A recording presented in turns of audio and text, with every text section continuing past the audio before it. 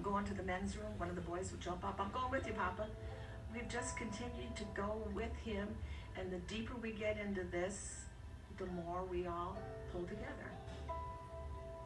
What's been the hardest part for you? Watching him not be able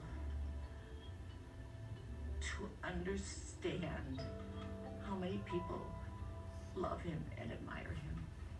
My part's easy. My part's just loving him and taking care of him.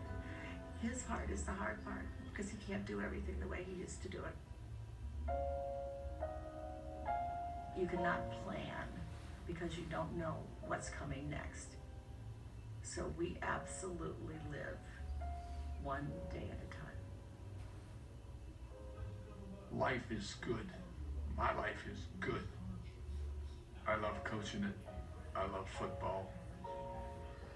They all pale in comparison to the one I love the most. That one. My wife.